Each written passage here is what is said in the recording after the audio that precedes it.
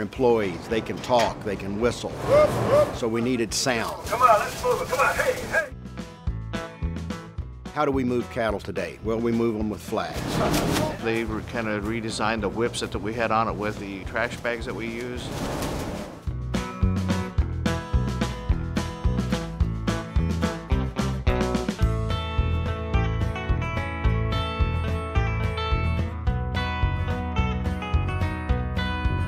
Joystick on it is just like a Xbox controller, so pretty easy.